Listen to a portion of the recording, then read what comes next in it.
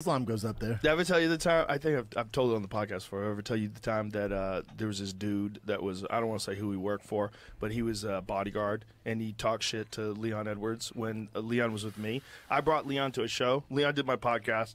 Then I brought Leon. We went did a show with Chappelle. Me and him were hanging out. And then afterwards, we all went out to this club.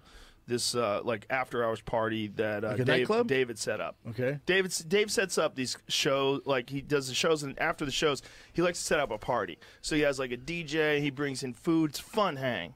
But it was at the end of the night and this guy decided he was going to kick everybody out and for some reason he singled out Leon Edwards and he got in his face Wow, and, and he, and he said like, "Hey man, I fucking told you it's time to leave." Fantastic. And then I got in between him. I said, "I know you probably made some fucked up mistakes in your life. You're about to make the biggest one." Did you say you know who that is? I, Exactly what I said. I said I pulled him aside. And what'd he do? And he he like went like a ghost. I go, that's one of the baddest motherfuckers on the planet. I go, you're about to make one of the biggest mistakes of your life.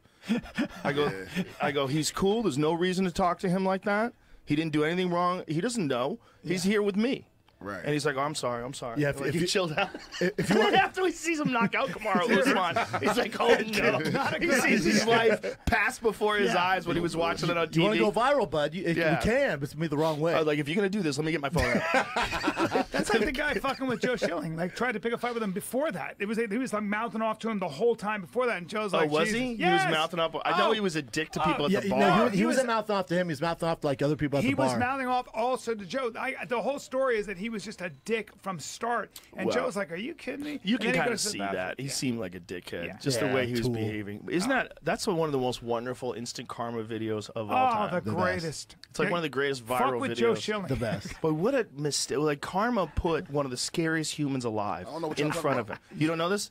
This is seen scene at a bar. Joe Schilling, who's a friend of mine, is a world champion kickboxer, elite, World elite class, strike, savage, world class. dude. Like, like, you would look at him, and go, "That's not the guy I'm gonna fuck with Yeah. in the bar. So there's a Joe lineup. Schilling is at a bar and he's trying to walk past this guy to get to the bathroom. The guy backs up as Joe's walking. He doesn't see him, and Joe bumps into him and puts his hands on him. This is it right here. So this is the guy. This is the dickhead. He's been fucking with He's everybody talking in the shit. bar the He's real time. loud and drunk. So that's It's Joe out in the black movie. shirt. It's like out of a Joe. movie. Joe's like, "Excuse me," and he passes by, and the guy says something to him. He turns around. The guy flinches. See how he just came Yeah, flinched he at him? flinches at Joe like he's gonna hit him, and then Joe Bro. just hits him with that three piece and a soda. And then Damn. he walks away like it ain't shit.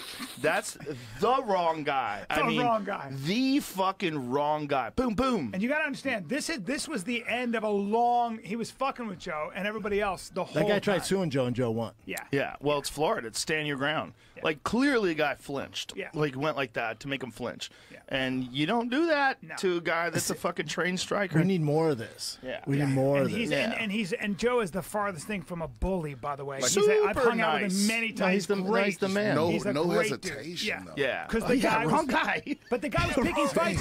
He was picking fights guy. with other dudes It's in the the bar guy. too. He was causing Yeah. all these problems with other guys. He was Yeah. trying to pick uh, fights. But I mean, you rarely see people that like like get right to it. You Yeah. Know? Oh, it's, right It's usually it. like shut your fucking mouth. Yeah. Who you No, no, talking no. to? Just bing, bing, bing. No, no, Wrong guy. That's his language. It was like a reflex. No, no, Wrong guy. He's fluent at knockout. That's his language. It's just the wrong guy. Yeah. Straight up.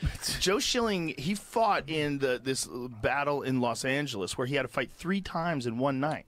Three, remember that Last Man Standing and Glory? We went there live. It was fucking insane. He fought three times, and this against world class kickboxers. And he then fought this three dude who doesn't work night. out came off, Yeah. you know, his day job at Remax. was like, I'm gonna get fucked up.